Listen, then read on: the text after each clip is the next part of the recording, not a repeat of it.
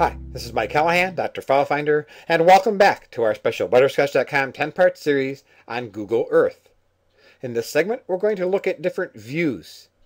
In the previous segment, we looked at controlling what you see in Google Earth by controlling layers. But you can also control other things by using the View menu up here in the toolbar. So we'll click View. You can turn off the toolbar if you want. You can also turn off this sidebar if you don't want to see it. You can have it go full screen, and you can also change the view size. You can have it show navigation automatically, always, compass only, or never. You can have it display a status bar, which is down here.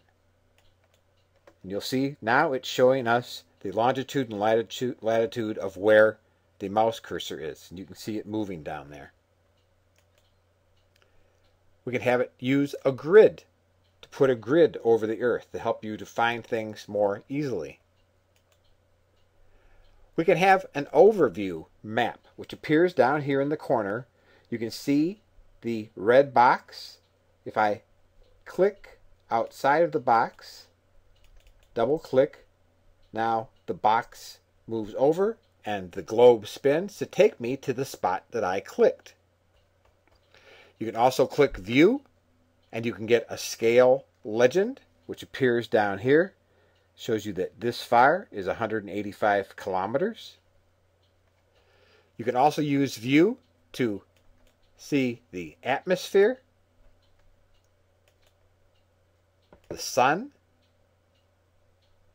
and it shows you that this part of the world is now dark, so we're going to go back to the U.S.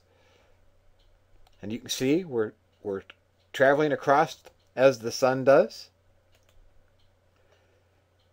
You can have it show historical imagery, but we'll look at that later. And you can also have it show the water surface. And you can explore different aspects through the view menu Earth, sky, Mars, and the moon.